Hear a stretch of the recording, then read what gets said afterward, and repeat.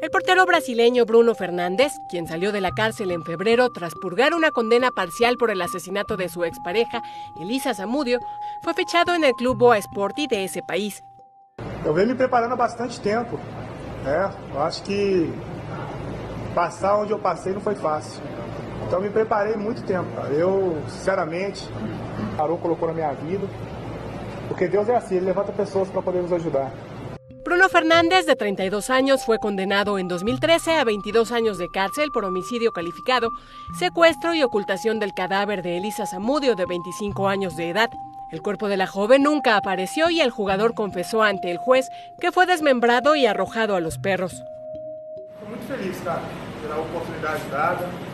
Eu acho que as pessoas, às vezes, ela, elas cobram muito a uma pessoa que, que acontece no passado.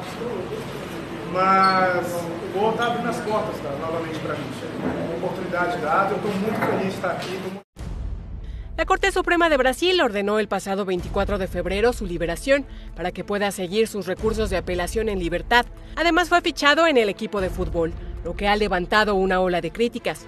Brasil es el quinto país con mayor número de asesinatos de mujeres del mundo. El Universal TV.